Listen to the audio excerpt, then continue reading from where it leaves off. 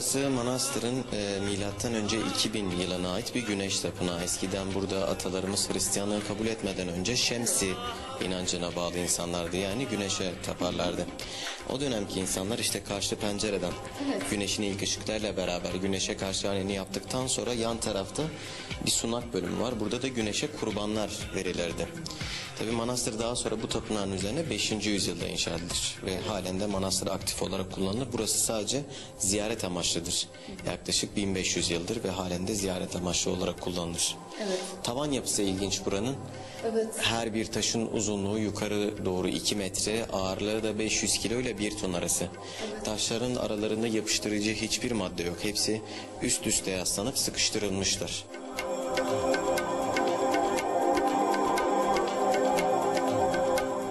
Buradan hemen yanındaki Azizler Evi olarak adlandırılan manastırın kurulduğu tarihten itibaren varlığını sürdüren yüksek rütbeli din adamlarının yattığı mezarlık bölümüne göz attık. 14. yüzyıla kadar şifane olarak kullanılmış olan bu yapıda tıbbın simgesi olan yılanı da duvarlarda görmek mümkün. Tarihte yolculuğa devam edince bir başka kiliseye geçtik. Şimdi burası manastırın ana merkez kilisesi 5. yüzyılda kurulmuş Aziz Hananyan Kilisesi. Normalde bütün rutin e, dualarımız burada gerçekleşir. Günlük sabah, öğle, akşam ve çarşamba, cuma ve pazar günleri aynar gerçekleşir. E, günlük rutin dualar sağ ve sol taraftaki yüksek kürsülerde, ayinler ise orta kısımdaki ana apsisten gerçekleşir. Sağ ve sol tarafta iki tane taht göreceğiz tekrar. Bunlar da metropolit ve patriğin makam kürsüleri. Bunlar e, aynı sırasında oturdukları sandalyelerdir. Tabii patrik tahtının burada olma sebebi ise burası 1293 yılından 1932 yılına kadar patrikhane olarak kullanılmış. Yani bütün dünya üzerindeki Süryani cemaati ve kiliseleri buraya bağlıydı. 1932'den sonra Humus'a 55'lerde ise Şam'a taşınır. Şu anda bütün Süryani Ortodokslarının ana merkezi Şam'dadır. Manastırda bir de Meryem Ana Kilisesi bulunuyor. Bu kilisede yeni doğan bebekler vaftiz edilirlermiş. Odayı gezerken tahterevanlar da gözümüzden kaçmadı. Bu tahterevanlar 16. yüzyılda patrikleri taşımak için kullanılırmış.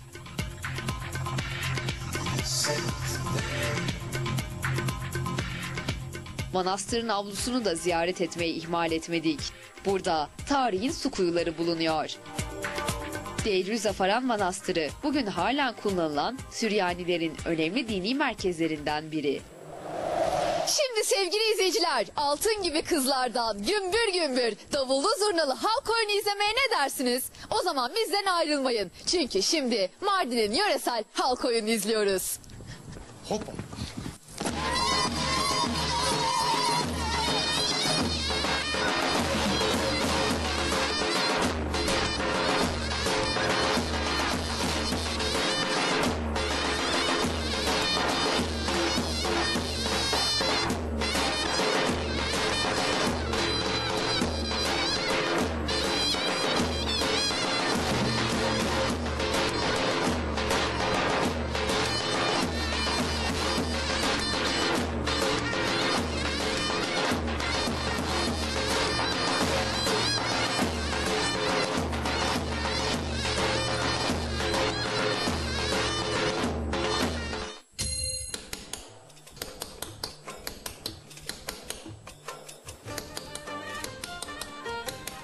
Mardin'in en meşhur simgesi Şahmeran. Şahmeran burada. Almış başını gitmiş.